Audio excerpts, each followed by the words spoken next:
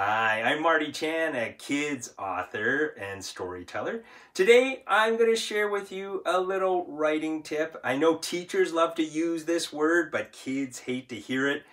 That word is revision. Now, revision is a very important part of every writer's job. I know sometimes people think that writers come up with an idea, they instantly sit down, they write it, and it becomes a book just like this.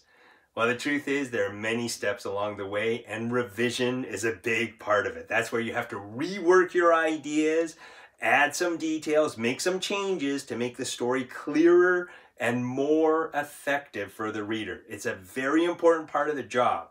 And rather than just me tell you about how important revision is, I thought I'd show you with my picture book, True Story. Now, when I sat down with my illustrator, Lorna Bennett, to work on this picture book, the first thing that we looked at is the very same thing that you look at when you start working on a story. Take a look right over here. Inside the book, we always start off with a whole bunch of blank pages. In the beginning, every creator, whether they're writing or illustrating, starts off with blank pages. Don't be afraid of those blank pages because you got great ideas in your brain. You just got to get them down on page. So I want you to pretend that you're a creator, a writer, or an illustrator, or a movie maker. I want you to reach into your brain, pull out a big idea. Okay? Got a big idea in your hand. Now what I want you to do is I want you to toss it at the book. Okay? Toss your big idea at the book. Here we go. Whoa. Okay. Bigger.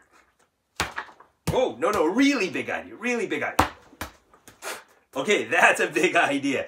Okay, now, when you get those ideas down on page, look at what happens to your story. Your story starts to take shape, right?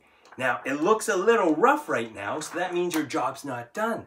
That means you have to go back into your brain and find little details to add to the story, because the more details you add to the story, the more it comes to life, okay? So now, uh, reach into your brain, pull out some little details, and throw them at me, okay?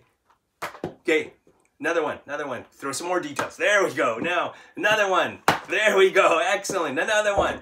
Very good. Almost. There we go. Good. One more. Good. Excellent. So, when you get those details in, let's see what happens to your story. Oh no. You know what?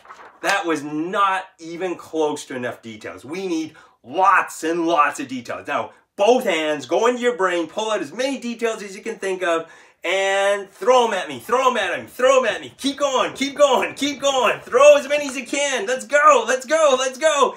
Yes, excellent. Now, when you get all those details into place, look at what happens to your story.